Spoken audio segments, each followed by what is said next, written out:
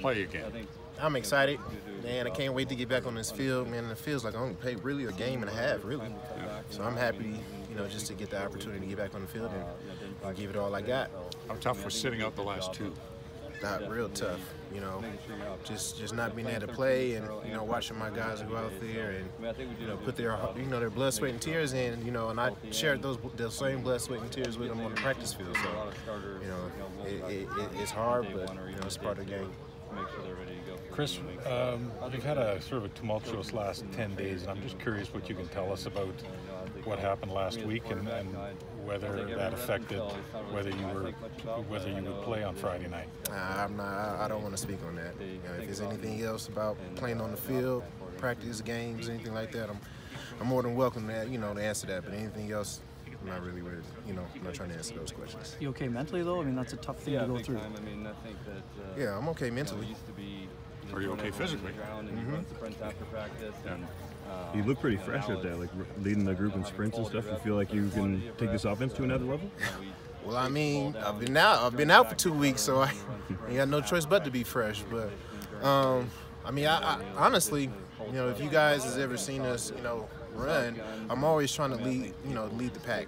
You know, these guys out here, they're young and you know they're out there running, and I just want to make sure that you know I'm out in the front, you know, pushing myself. And uh, if there's ever a day honestly like today where it was a bit hot and I was already gassed. I wanted to make sure I pushed myself to stay in the front. So, uh, you know, little things like that is just, you know, I, I think I think me personally is going to help me, you know, get over the the hump when I get in the game when you know the bullets are flying and you know people are tired. Would you say, Chris, there's a different aerobic requirement for this league versus down south, and more running up here for receivers? I mean, Yeah, it's definitely more running. You know, you got the waggle.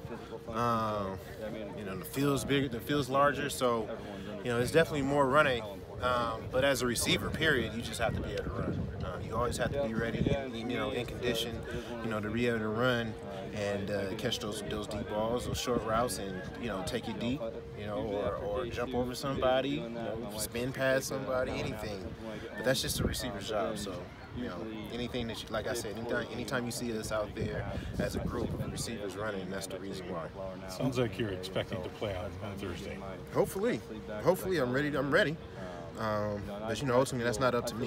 You know, that's up to the coaches, and, and uh, I think internally it's up to me. You know, to show them that I am ready uh, on, on the field. Uh, you know, decision-wise, it's on them. Chris, uh, you said only a game and a half. What do you want to bring to this offense? I want to bring everything. I want. I want. I want to. I want to. I want to pick the level up. Um, I want. I want to. I want to play. I want to. I want to be to. You know, to, to be that missing piece that you know that we. You know that they need. You know, to to, to keep on going because we're already. You know, pretty good on offense. Um, I just feel like you know, me personally, I can make it better. Uh, it's not in no selfish way or anything like that. It's just how I feel about myself and my gameplay. So you know, once you know, once we all get on the field together, you'll you'll, you'll see. You'll know why. Uh, you'll know why.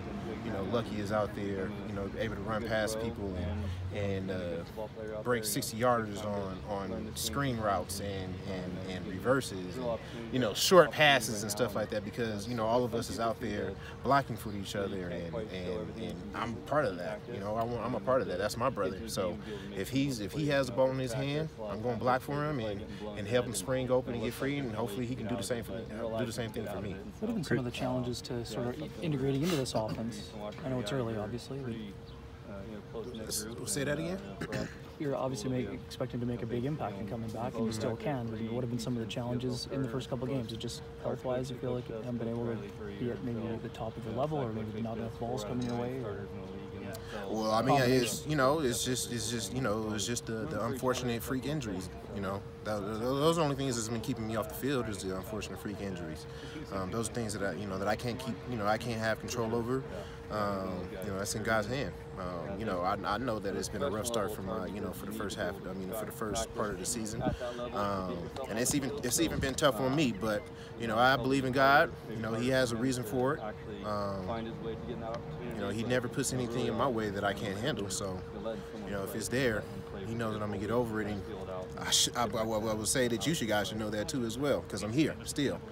Um, yeah, man, that's that's that's the biggest thing right there. Is you know just believing in God and, and making sure you know I stay I stay true to the to the process, like Coach says. You feel like there's lots of time to still make that impact in the last 12 games, right? God, well, yeah, yeah, definitely. I mean, that's that's a regular season game right there. For you know, if you're coming out of college, you know, that's a regular season game. So, um, yeah, I'm not worried about how many more games we got. I don't care if it was just one game. You know, if I'm if I'm going out there and they're, and they're throwing me the ball or not throwing me the ball and I got a block, then that's just what it is. I'm going to go out there and do it just because that's who I am. Chris, why did you choose Winnipeg? Because it wasn't like you went to the highest bidder necessarily. That's why that's why I chose Winnipeg. My guy right there. Um, Darren Cameron is a difference. How could that be? Listen, listen. The man, the man has a plan. the man has a plan. No, um, it's home. It's home for me.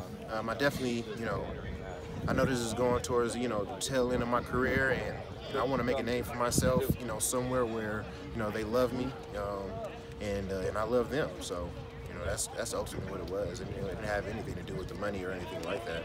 Um, you know, I'm not to, not to say that money isn't good, but that's not what it was for. It was definitely about building a legacy. You know, I just had a one-year-old, so it's it's all about you know setting up and uh, you know getting my kids ready.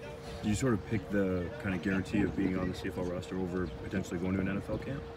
No, no, not at all. All right, guys. Awesome. Thanks. Thank you.